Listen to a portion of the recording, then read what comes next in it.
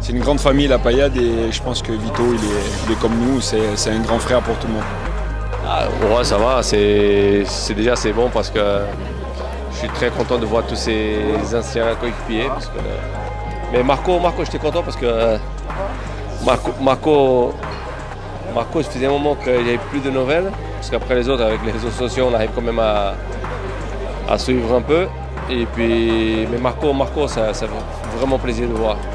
Merci pour tout ce qu'il a fait, merci d'être l'homme qu'il est aussi, parce que c'est avant tout aussi un grand homme avant d'être un grand joueur. Là, il y a des bons souvenirs qui, ça revient. Euh, et après, bon, après, il y a une journée, une journée qui se prépare doucement.